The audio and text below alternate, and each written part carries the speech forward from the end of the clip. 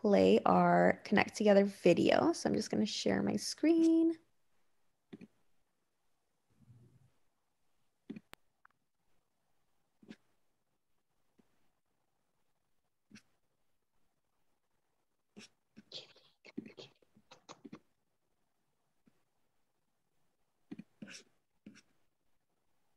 Thank you for attending this Connect Together event. During this event, we have automatic closed captioning available.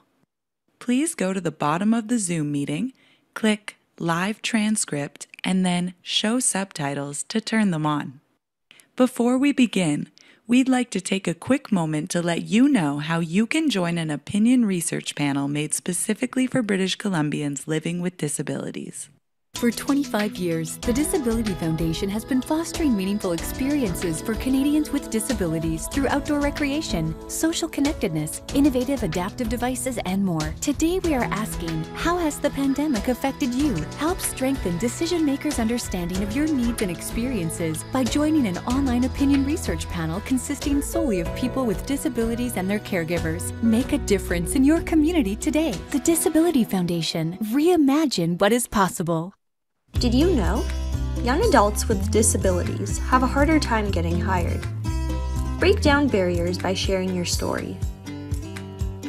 Take our survey.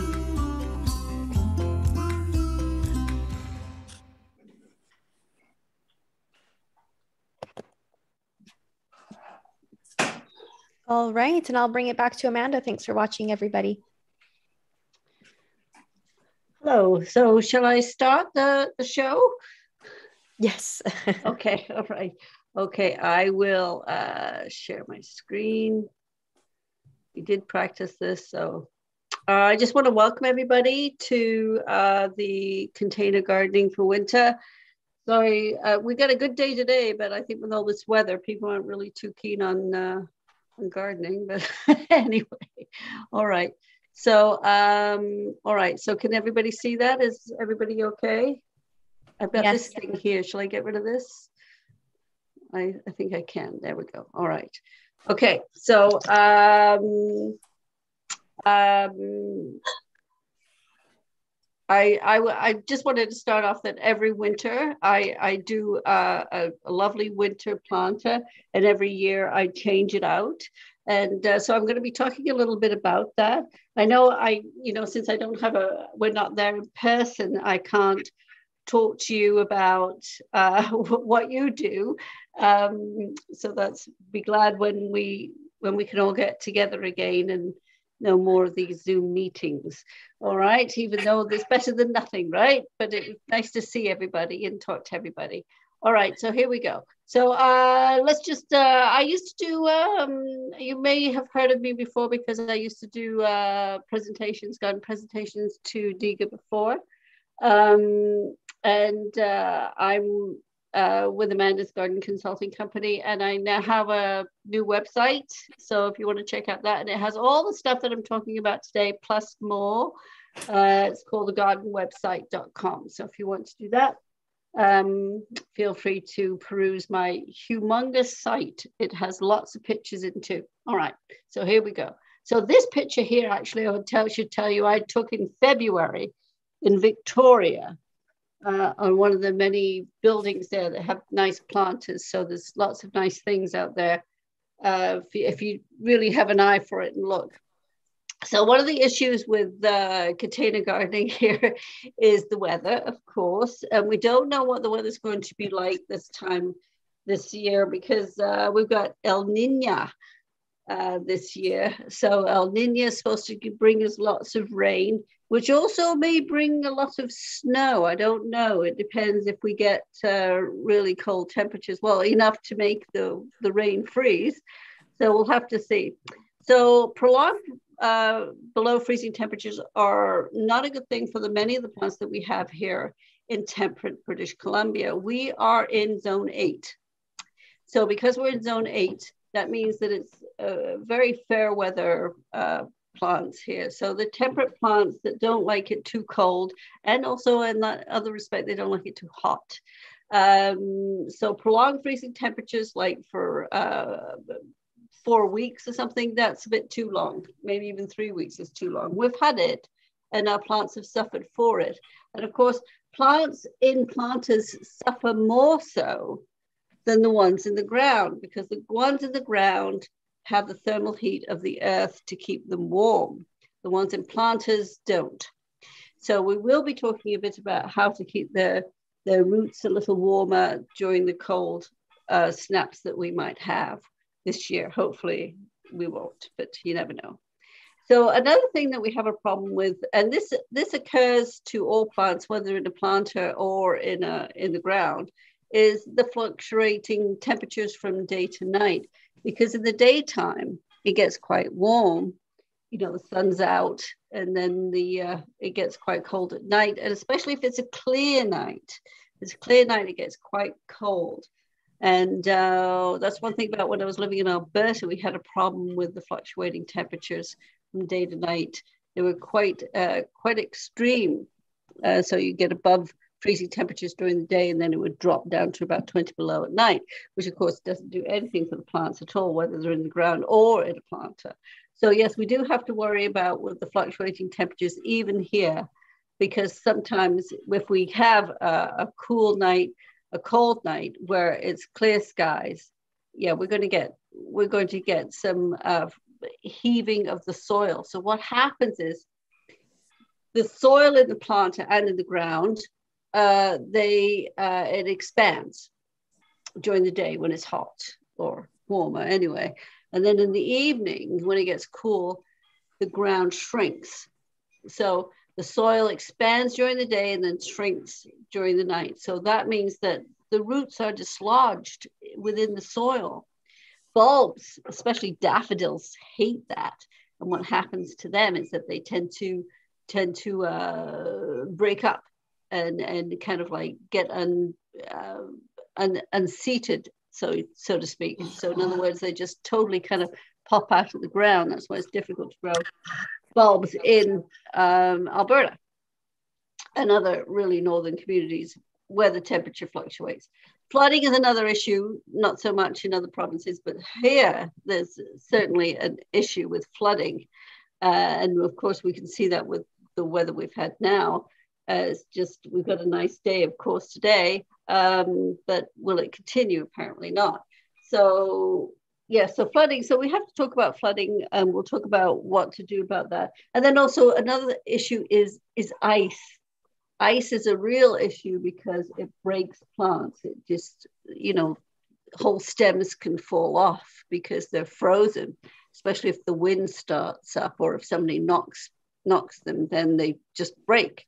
And then uh, wind, of course. Wind is an issue because, and I know a lot of people don't think much about wind, but wind actually is very drying, and that's what causes a lot of winter kill.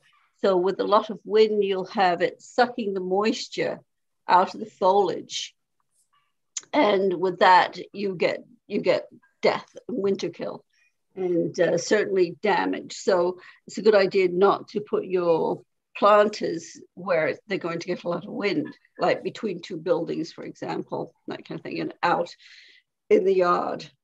All right. Now, another thing is here, you see all the snow, and I haven't got so snow, even though looks terrible when it happens, snow actually is a pretty good insulator. It actually keeps plants warm because it's it's, it's a nice puffy layer of insulation. Uh, well, the problem is with snow is is that it gets heavy, and uh, it breaks branches and distorts nice round uh, shapes of of, of uh, round cedars and that kind of thing, and and um, and even of uh, boxwood. So yeah, that's an issue. Excuse me. Other than that, uh, snow's not really a big deal. So hardiness So, uh, sorry, I had to have a drink. Um, so you got to select hardy plants.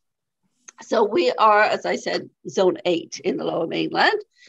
Uh, so because they're in pots, we have to go a zone less or more. So select plants that are zone seven, six, five, four, three, two, one. All right.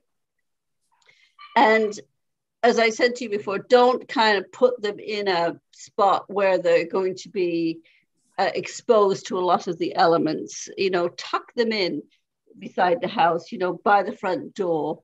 Uh, most of the time, winter planters are by the front door, so in, in, they're in a pretty well protected area. Now, if you're, oh, like this is my mother's balcony here, um, and so we put all the planters together to protect them so they're all together. But these are not ones that we're going to be looking at during the, the winter. These are ones that are going to be showing their stuff in the spring. So it's all right to put them to one side. But if you really want a plant at the front door or the back door or wherever, then it's a good idea to um, have um, uh, hardy plants that don't need to be protected during the winter, right? So go go with a few zones less. Now, if you're high up in a building, like on the top, like 10th floor or something, you'll have to really select plants that are much uh, hardier than zone seven. You may have to go to zone six and five due to the fact that it's much colder up higher up in the building. So uh, think about that when you select plants. If you're going to go out to the nursery and get plants, and the, the nursery is a good place to go and get go to a nursery that they know what they're doing, and you can ask people, and they will help you because that's what they're there for. Okay, so one of the uh, one of the issues that we have. Oh, sorry, here I touched the wrong thing here. One of the things here we have, because of all the rain, and even without rain, we need to um, make sure that uh, the rain can dissipate. So the rain can drain away. So if the uh, so you have to have drainage holes in pots. So a lot of people think that you know you don't need drainage holes in pots, but you actually do with all kinds of pots, with all kinds of plants, you need drainage holes. The only time you don't need drainage holes is if you're like growing something like a water lily or something like that. So don't cover the holes because if you cover the holes, you're going to um, defeat the purpose of them being there. You want drainage. You don't want to. The soil will not leak out of the holes. Uh, soil actually. Uh, kind of clings together. That's what soil does because the only thing that doesn't cling together is sand. So, so make sure that you uh, have drainage holes because uh, it's wet out there. So, and uh, don't put rocks or gravel in the bottom of the pot. That does not increase drainage. It actually impairs drainage. They've done many studies of it uh, about how rocks and any other thing at the bottom of the pot actually um, impairs drainage. And if you don't believe me, go online and you'll find all kinds of things about why you should not add rocks or gravel to the bottom of the pot. It's uh, an outdated uh, thinking there. So we've uh, come a long way since then. So drainage trays. Now drainage trays we use during the summer because uh, you want to keep your patio and your deck clean of uh, water that's spilled coming through the drainage holes of your pot. So you want to make sure that you have a nice drainage tray underneath it to collect the water. And that will also help you help the plants uh, absorb more moisture, especially in the heat of the summer. But this time of the year, you don't want drainage trays underneath your pots. So I usually like to invert them and just put the pot on top. So I, I up in the drainage tray and just put the, uh, either move them or I put the pot back on top of it so it doesn't collect the water. So, uh, and that seems to work well. I've got a few that I have yet to do in my garden yet, so I've got to get out there. So self-watering pots, a lot of people use those, and they're great for when it's hot and sunny. But with our our rainy temperature, rainy uh, weather, it's probably not a good idea, unless of course it's not in where it's going to get rain. If it's going to get rain, then probably a self-watering pot is not a good idea. But if it's uh, actually uh, under the eaves or in a protected area where it will not get rain, then definitely make sure that you um, uh, use a watering pot if you've got one. Um, all right, let's see. And uh, pot size. So you can't have little bitty plants for the winter because the more soil around the roots, the hardier it is. A little tiny pot, it means that there's not much protection for those roots. So get, get a, a large pot, about 16 inches diameter, diameter minimum, um, and then you'll it will be able to overwinter better. Um, okay, and pot feet is um, another thing that um, I use, and they've got some really cute ones on the market. Um, I've got I've got the ones on the lower right. They're they're cute, and uh, I like the frog ones. I'd love those, but those are not mine. So anyway, these keep the plant pot off the ground. This helps prevent a mess all over your deck and staining and mold underneath it. And then also it stops the uh, slugs from coming up there and uh, devouring your plants. And also looks a little nicer, I think, you know, gives it more of a nicer presentation.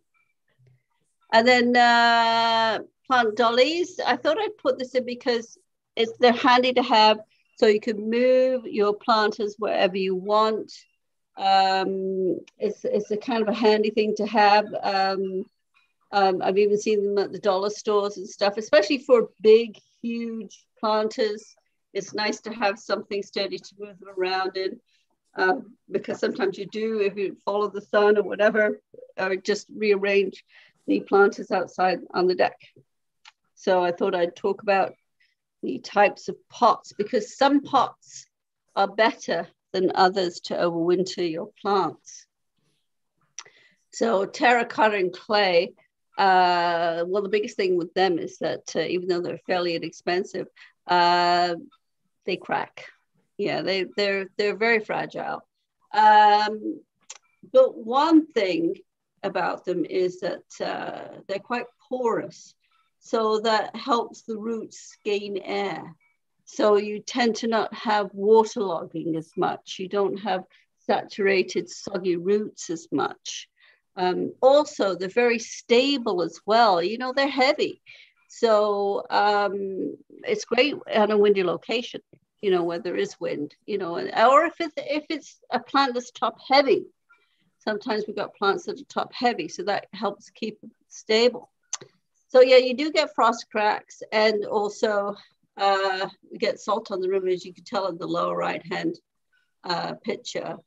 Um, and uh, you just have to clean them off as, as best you can. I usually use a scrubbing tool to scrub it off um, before planting. And also before planting with a clay pot, you're, you're supposed to soak it. The reason why is because it, it, absorbs all the moisture away from the roots. So the plant may be thirsty even though you've just watered it. Uh, yes, yeah, store the uh, pots upside down, uh, preferably indoors so they don't crack. And uh, the clay soil is actually pretty good for um, insulating the roots. It does have some protection for root insulation. It's, it's not perfect, but it's certainly better than others. So there is some protection. And of course, the thicker the, the clay, the better. So I thought also I'd, I'd tell you this because sometimes, you know, it's nice to have um, some nice old clay pots that look like they've been around for eons. Um, one thing you need to do though, if you want to use a, clay pot, is uh, use a liquid sealer inside the pot that you can get at craft stores and even at um, probably uh, garden stores too. Uh, and if you want to make them look old and, and funky, then just mix up some buttermilk and yogurt uh, and, and with some live moss. Lord knows we have enough outside in our gardens with some live moss and just blend it together in a blender and then paint it on the pots and then put the pots outside and they'll get all funky for you. And even if you don't want to do it now, you can do it come spring. All right. And uh, oh sorry uh sorry. I should i should use the the other things. This one's my mouse is too happy here. It's a very loose mouse. Okay so uh ceramic stoneware um this is heavy stuff. Yeah i know at london drugs they sell those little round blue ones all the time which are lovely but boy they're heavy. So glazed clay uh they've actually put a glaze on it glaze glaze on it. And um, because of that you don't have the pores that you have on the regular untreated clay pots. So you won't get as uh, much air exchange and moisture loss and moisture retention through the moisture loss through the glazed clay. Um, they um, are still prone to cracking. Um, they're heavy, as you know, um, and they have good water retention. But uh, they, they do provide some protection for the plants, for the roots. Plastic, okay, through the winter, plastic is not really the best idea, even though they're very handy to have, and you can pick some up at the dollar store, and some of them are quite nice at the dollar store. However, um, they're just not good for bad weather. They just they crack, they disintegrate, they shatter. Um, however, they're nice lightweight and they're inexpensive.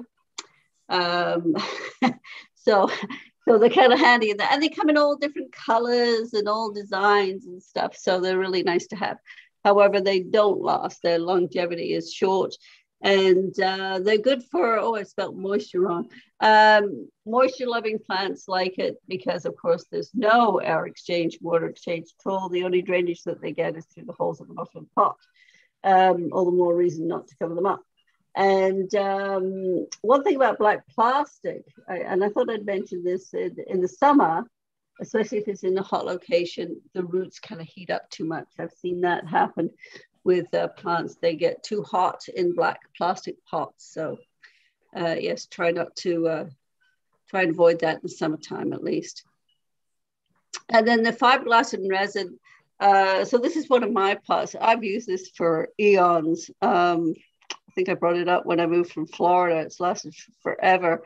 It's a great pot. It's it's a blend of resin and glass fibers, um, and it's very lightweight and it, it looks really good, even though it's uh, it looks like it's uh, a clay pot, and, and it isn't, or stone pot.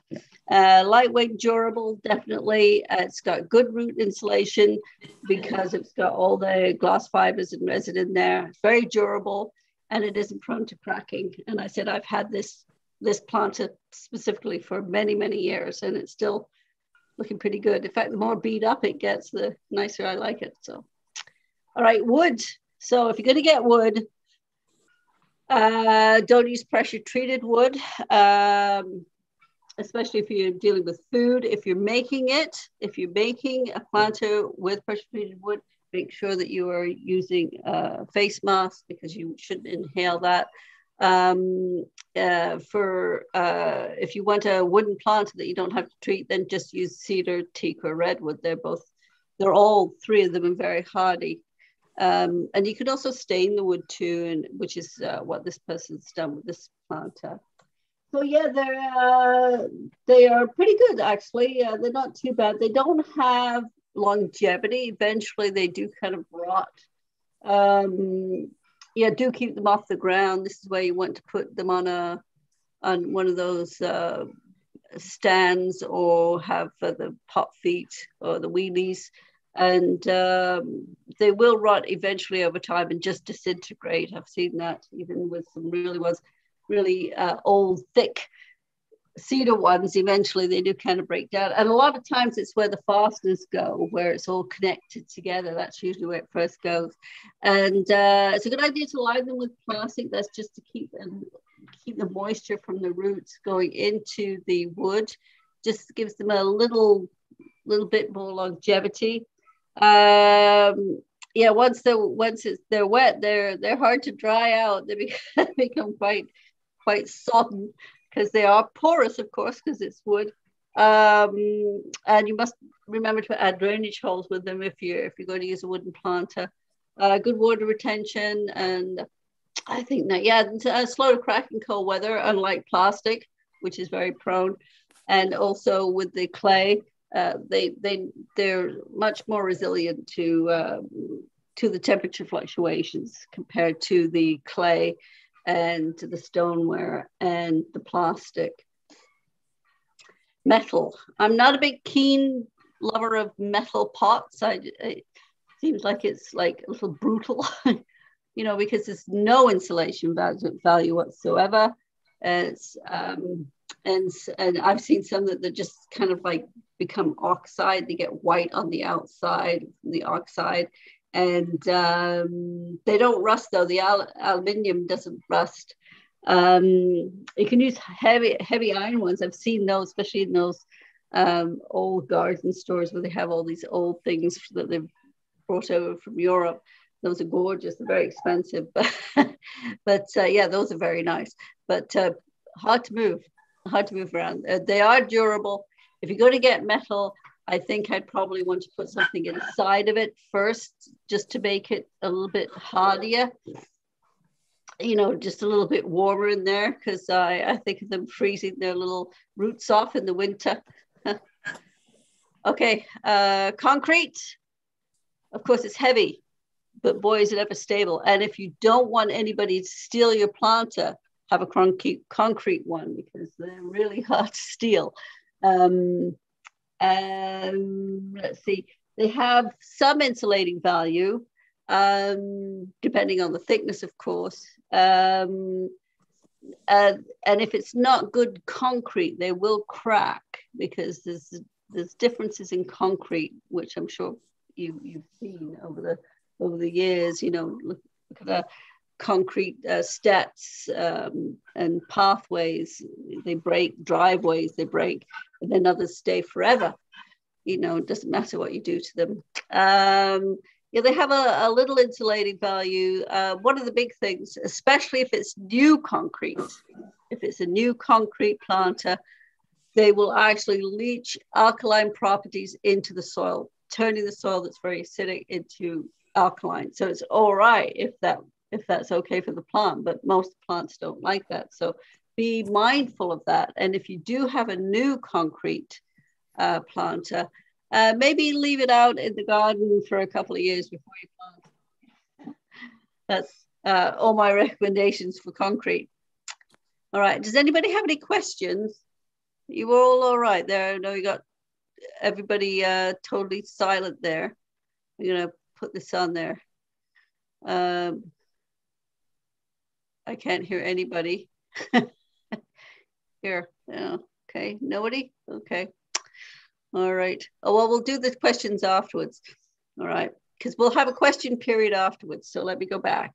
Let me just go back here. Okay, and I will get back to this here. Okay, all right. So uh, soil and planting. So uh, these are metal planters right here. Very yay. I got this from online though. I don't know this person at all. So anyway, soil and planting. So general soil mix, because these are for winter, you'll have to have good drainage. And then also because there'll be like perennial plants because there's not many annual plants we can put in over the winter. It needs to, these plants are going to be living in that planter for some time, for more than a year. So you want to put in some compost. And there's all different kinds. You know, the more compost you want, I put this general thing in, but the more compost you have, the better. Okay and uh, use a planter mix, not just a regular soil mix, but a planter mix. They're a little better, they're a little bit more substantial than a regular potting soil. Now be careful when you're buying the potting soil too, because some actually have um, uh, a gel in that actually uh, holds moisture in. You don't want those for a winter planter. That's okay for something that you're going to plant summer for a winter planter, you don't want something that's going to absorb water. You want something that's actually going to have good drainage. And this is another reason why you want to put vermiculite in. Now, you can put in sand, but sand, you have to mix it in well. And then also, it's heavy. sand is very heavy, but vermiculite isn't. And is vermiculite is easy to use. So uh, I like to use vermiculite. You can use perlite uh, but perlite tends to raise, come to the top of the surface of the soil. So I'm a big fan of vermiculite. You can also put coir in there too. Coir is from coconuts, and that also helps with the uh, drainage.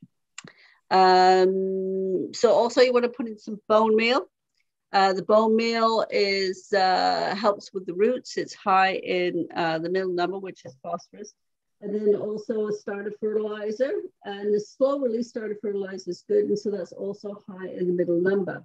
You don't want to put a high nitrogen fertilizer in because you don't want them to start lots of new growth. You want them to start root growth, not um, leafy growth.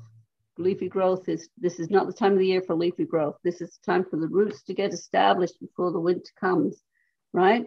And mix everything thoroughly. Mix it quite well with your hands and then moisten it. And the reason why moisten, you, do, you don't want to put plants in in, in dry soil because that dry soil will suck the moisture away from the roots. So um, moisten the soil. So it should be like like a, a damp sponge.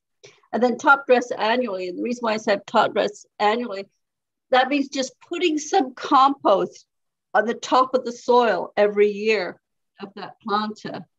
This is good for your trees and your shrubs and your perennials, and it just gives them a little bit of more food, right? So that's what compost is, right? It's food for the plants. So this is an easy way of gathering food for the plants and giving them a little top up. They like that. Okay, so uh, here's my planter again, and and uh, um, so use the soil, uh, put, and it should be, as I said, moist, uh, slightly moist, and then fill the planter up with three quarter full of soil, and then firm it slightly with your hands, and then arrange the potted plants on top the way you think you like them.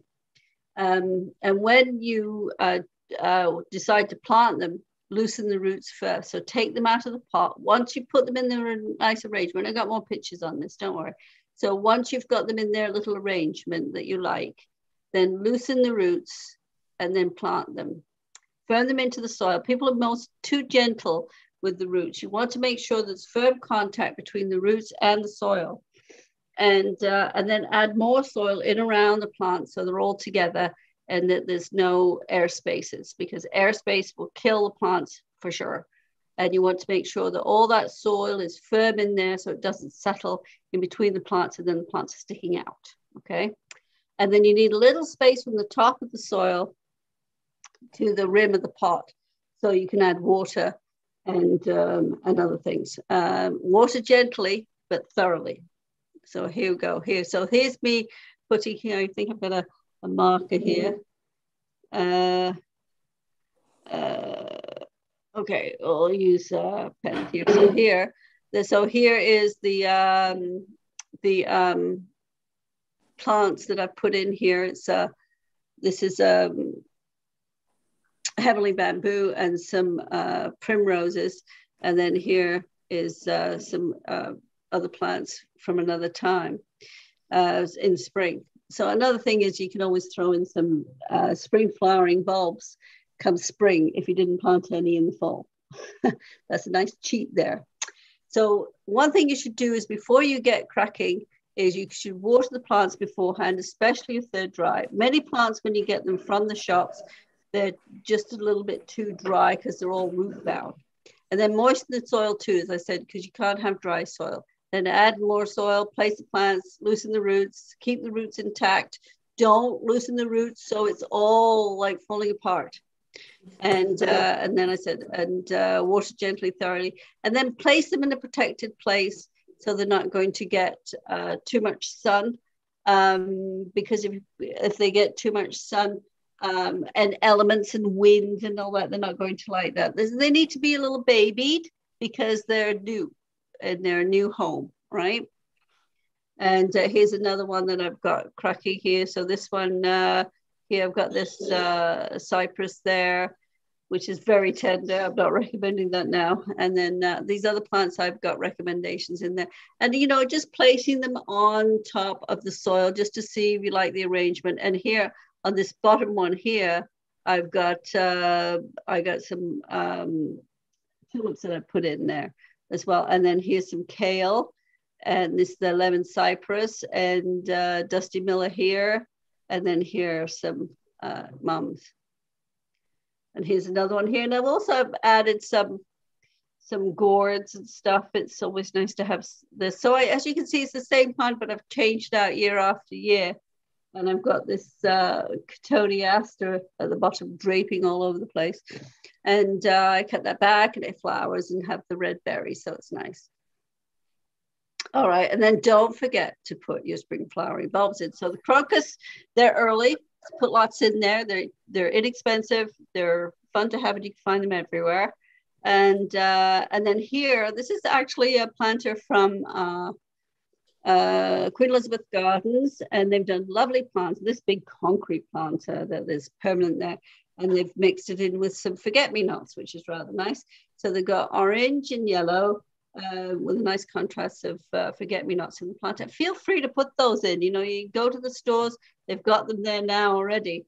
So, uh, and uh, they should still be having the full stock in there. One of the earliest flowering bulbs, of course, is snowdrops, and everybody waits for those to come in January, February. It's always such, oh my God, spring is on its way. So it's always nice to see those pop up, and they're so dainty and pretty. And then here is uh, a plant that I I did myself, um, just with some pansies from the shops, and this is how I planted it the year before.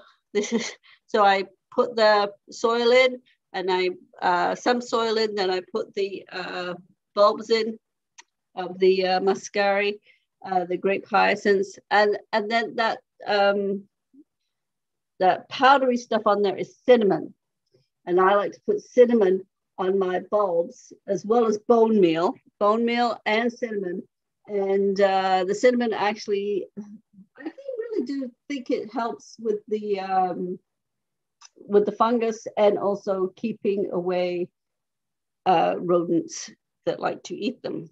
They don't, I guess they don't like cinnamon. And so uh, I use this every year with the uh, bone meal and the cinnamon, and it works really well. And as you can see, the result was this top planter here, this one here. So that was the same thing. And then what I did is I put soil over top so I put soil over top of the of the bulbs, and then I planted the pansies. And then here's another one of mine uh, creations. Now, you I put little ornaments in there. I got this this little thing from the dollar store, cute. And then these here are curly twigs from uh, my next door neighbor's um, uh, curly, uh, uh, what's it called? The uh, Harry Lauder's walking stick, also called a curly hazel, hazelnut there. And uh, so mix in your, your bulbs and your, so when you're planting your, your perennials, throw in some bulbs before you do that. And if you if you've already got some, just make a hole with a screwdriver or something, uh, or a, a, long narrow um, trowel, and just put the make space in between the plants and put the bulbs in if you have already planted them because I've done that too and it still works. And here's another one. And so this is this is black mondo grass here, this crazy little thing there. It's but it's lovely. And uh, and this is uh, you should see this. But I should actually show you pictures of this now. It's doing really well. And this is uh, uh, Heuchera coral bells. I think it's what's called lime something or other. And then here's some primroses. And then here's some uh, narcissus. And actually, this didn't have the, I didn't plant the nice narcissus in it, but come spring, it was kind of bare because uh, this primrose didn't do as well. So I just went to the shops and picked, I think it was the grocery store, and picked up a pot of uh, narcissus, some daffodils, and threw that in, and voila, Siffy. So um, aftercare, so putting in a, uh, a nice protected location, as I said. Um, and then and then you can move it somewhere more permanent um, after about a few days you know. Um, if it's under the eaves you've got to water when necessary. Don't forget to water because just because it's under the eave it's not going to get any water at all. So it will dry out. So you do have to be um, wary of that. And uh, and yeah keep it away from downspouts and dripping eaves. Uh, um, okay, so design. Uh, so the thrill, fill, and spill, we'll do that. I'm sure you've uh, know the thrill, fill, and spill. So the thrill is this here, and this is the fill, and then this is the spill. That's how we do it. All right, and you can see this in this. And then this this one here, um, this is at um, I think it's at a grocery store. I found this, and um, you got the uh, mums there, and the ornamental kale, and the heather, and the uh, coral bells, and oh, look at English ivy there. I'm not sure what this type of grass is. anyway, see it. It's it's a nice it's a nice shape. Notice that the the plant pots aren't really small um, for all those things, there, but they are still really cramped. And this is another one that's a nursery. And this is also uh, coral bells here. And this is uh, bugleweed. And this is, uh, this here is uh, creeping Jenny. So this is the bugleweed here. And then here, I think this is miscanthus grass. Um, yeah, and the coral bells here. So yeah, it's just a simple thing. But do do fill them, you know, like don't be too sparse. Make them look good now. Don't expect them to look better later. Um, make them look good now. So fill them up, put lots of plants in. Uh, winter protection. Uh, so this is one of mine, and I just got the leaves from the neighborhood and put it on top. And you know, look pretty good too. You know, um, because this is a tender plant and it, it it looked really good and it did it did work. So I was very pleased. Again, here's with the snow. Don't worry too much about the snow. As I said, uh, see this mum is still trucking despite the snow. This was, I think, last November when we got that snow all of a sudden. We were all unprepared. Uh, more now, so for this winter protection, this is for the plants that you're not showing off, that you're not keeping uh, by the front door and, and uh, welcoming people. This is, I just thought I'd throw this in because I think, you know, if you have other planters, you probably probably need to know how to protect them. So this is a Portuguese laurel in a pot, a pot that's too small for it, but I sold it the year after because uh, I, I, don't have any space for a Portugal laurel. Uh, I found it as a weed in the garden, and the next thing you know, it, it was growing to beat the band, and so I wanted to save it because it was, you know, be that sturdy, and you need a home. So anyway, so I put bubble wrap around it. I wrap lots of bubble wrap around the pot, and the reason why I want to put bubble wrap around the pot is because that's where the roots are. A lot of people take the top, but you actually need to protect the bottom as well because that is where the roots are, and then being all nice and warm. And then also put straw on that uh, on top of the soil. And if I didn't have straw, I could have used fall leaves.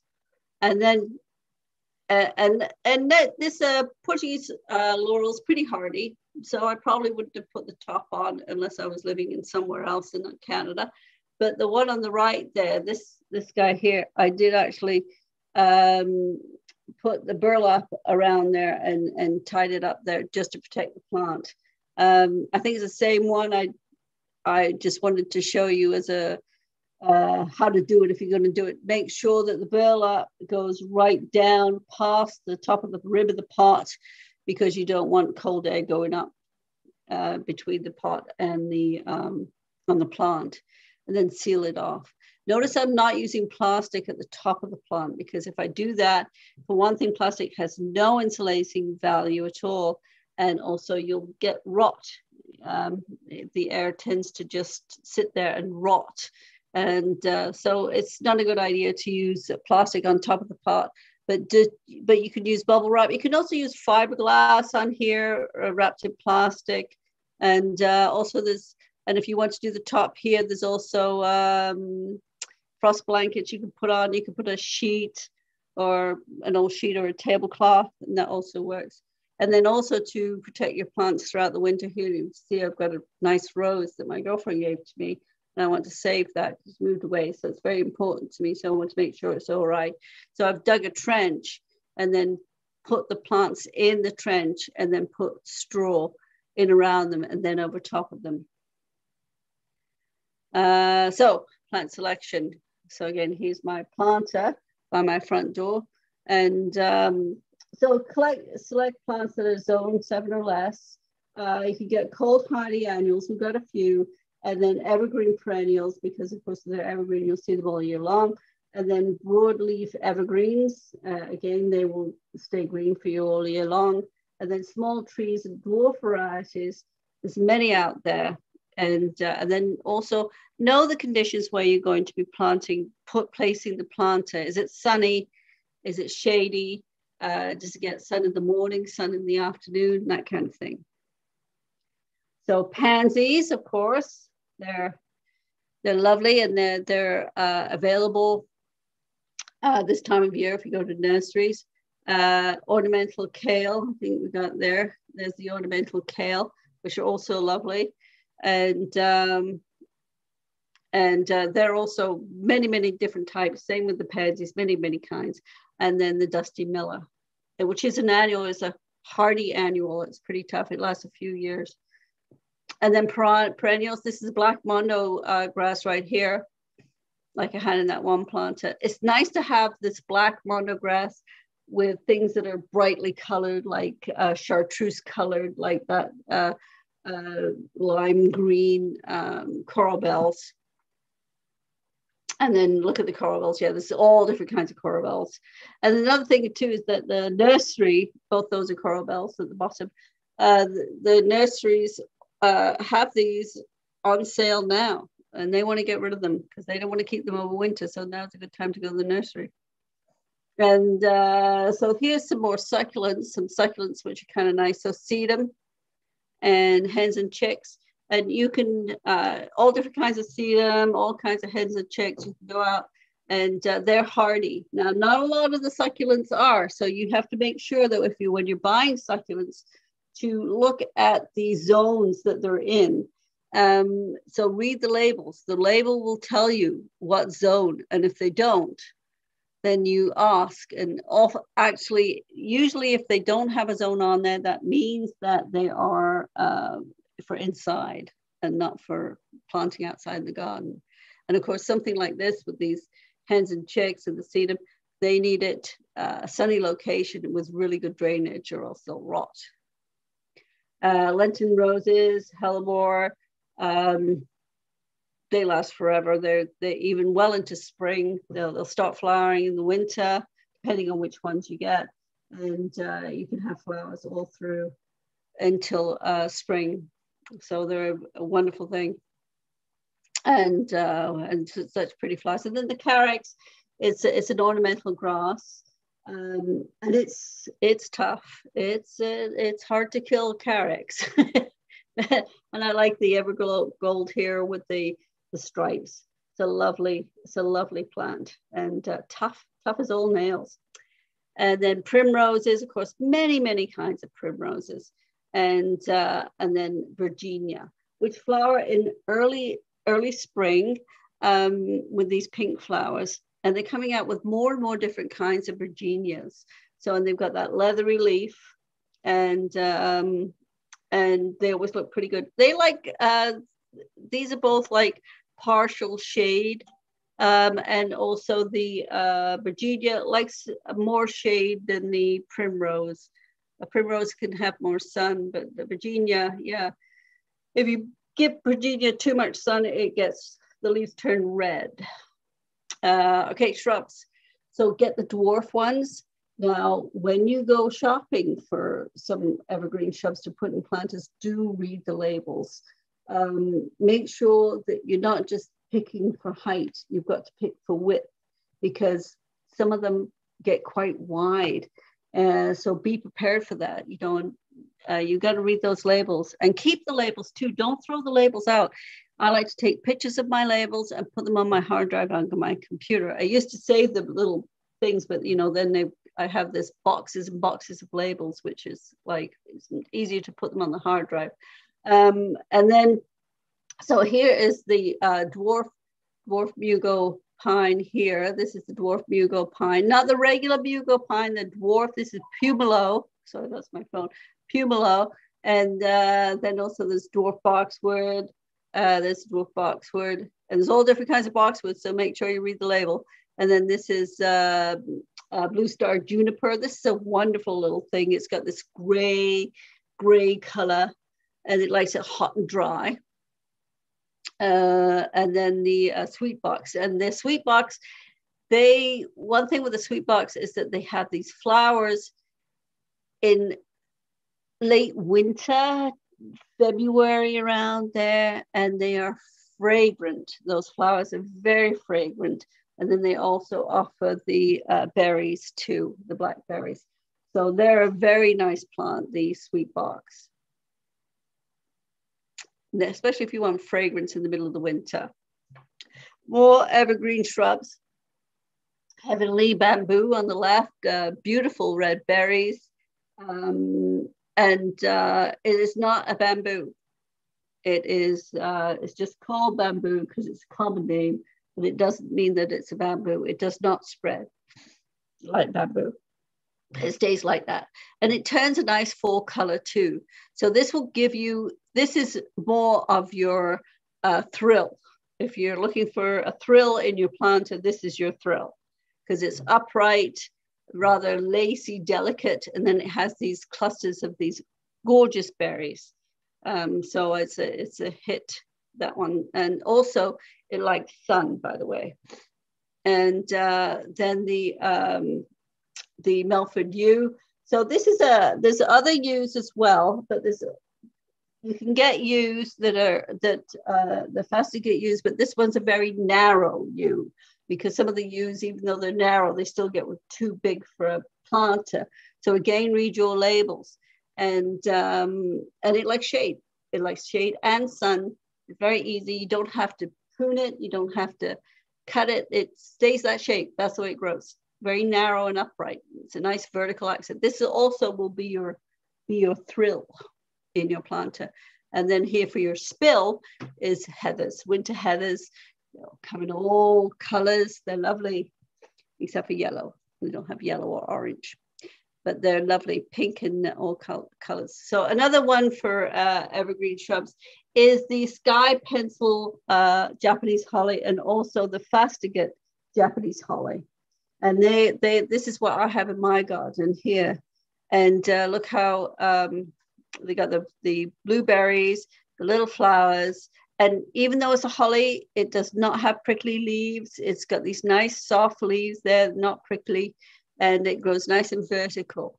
And this could be your thrill. And uh, it likes sun and it likes shade. So it's a really easy peasy plant. And I love these things. I've got a few in my garden and I recommend, recommend them for my clients, for my business. So and then for trailers, if you want some spill, then uh, Roxbury cotoneaster is uh, it's got this herringbone uh, pattern for its uh, stems, and uh, and then it's got these little pretty little uh, flowers, and uh, they're followed by the berries, and then the leaves fall off, and then you're still kept with the berries. So it's a nice plant. It's a very nice plant, and it likes the sun and shade. And uh, kinnikinnick, uh, is one of our native indigenous plants, Arctostaphylos uva ursi. And uh, this uh, picture was taken at Queen Elizabeth Gardens in their parking lot with the big, huge planters, and they're full of the kinnikinnick. And there's the little flowers, and they're followed by berries. So it's a nice, it's a nice plant, and it likes it hot and sunny and dry. And then creeping Jenny, I love the creeping Jenny especially with blue. I think they're lovely. So they're a golden color and uh, they droop along uh, the edge of the pot. And uh, yes, they're a nice contrast to anything that uh, you have that's uh, your thrill or your fill. So yeah, they're a nice plant. And I like the uh, gold type. There's a green type, but the gold one is the most common. And you can find that in practically every store. Now, the only thing is, if it touches the ground, it will start to root. So be careful of that, that happen. And then some more trailers here. So English ivy. Yes, I know English ivy. You've got to be careful with it. Don't let it get the ground and grow up trees because it will it will grow up the trees and, and smother them. Um, but they're nice to have because they do actually um, survive our winters beautifully and our summers. They really are a good plant for here. And then also beacon silver dead nettle. Now, both these plants are considered invasive. So, um, so don't plant them in your in your garden, but keep them planted. They're nice. And then trees, got the dwarf varieties. Dwarf varieties, always look for the dwarf varieties for planters and you can certainly use uh, uh, dwarf apples and that kind of thing. And I put these in, even though these are not evergreen, they have good structure. They've got good bones. They've got nice, strong um, silhouette. So even in a planter without any foliage on, they're still very attractive. So um, the Japanese maples, you can't go wrong with them. And then also the yucca, uh, And uh, this is a variegated yucca. This is like hot and dry. And then also the, the uh, dwarf Alberta spruce. It gets to be 12 feet uh, tall when it's mature, but it takes a long time to grow to that. And they're just perfect little Christmas trees. Don't let them dry too out, out too much because they'll tend to get spider mites. And then topiaries, of course, topiaries are wonderful. They're nice, uh, nice to have, and and uh, you, they're just high maintenance. Uh, I'll tell you that right now. You've got to keep uh, keep on it to make the shapes look nice all year long. And uh, and then don't forget, Christmas is coming up, and any season, even if it's uh, um, uh, a birthday or whatever, you can always use your planters to stick in some some artificial berries or some stick sticks just to make it more festive. And I like doing that with mine, and uh, and it works. And I um, I actually go to the dollar store and get a lot of stuff to put in my planters, and it looks nice. And even get some uh, um, evergreen boughs from your other plants and just stick them in the soil. That's all you have to do and uh, you don't even have to um, add any plants. You just need to stick some um, evergreen branches in, and you're done. All right, and here I I'm done. So, is there anybody anybody got questions? Can anybody hear me? anybody there? Okay, I'm going to leave you now. I'm going to. Thank you so much. Thanks. There we go. Have a wonderful weekend. Okay, bye bye. Okay, there we go. All right. Mm. Thanks. Okay, good. All right. So, is there any questions? Did I do a full hour? Yes, I did. Oh, right on the money. That's not too bad. Good job, Amanda. Thank you. Thank you for joining us. Thank you for having me. Yeah, our pleasure. Okay. All right. Is there anybody got any questions? No? I think it's good. I think you did a good job explaining. Okay. All right. Okay. Well, thank you very much. And um, if you need me for anything, uh, give me a call. Uh, just uh, Amanda's Garden Consulting, and also go to my website, uh, the garden website uh, and um, and I'm sure that you'll find something interesting there for yourself in gardening. Okay. Absolutely. So thank you very much, and thank you for coming. Thank, Thank you so you. much.